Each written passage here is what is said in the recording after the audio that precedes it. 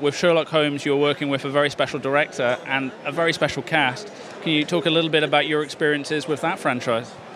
Well, when we first did the first Sherlock Holmes, it was it, wasn't a very big movie, and it was a bit of a risk to do, but we worked really hard on it, and uh, I, I think it's probably Guy's best film. I think so. What makes Guy such a very special, such a unique storyteller? Because he's very creative. He's always on the front foot. He's he's not afraid to take risks, um, and he's very good with actors.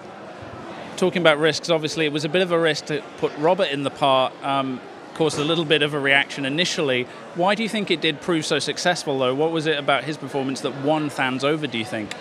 Well, because he's just a good actor, really. He's got a lot of charisma. He, he's he's also technically a very good actor with the English accent and everything. And I think it was, and the, and the part was written for him, so it worked.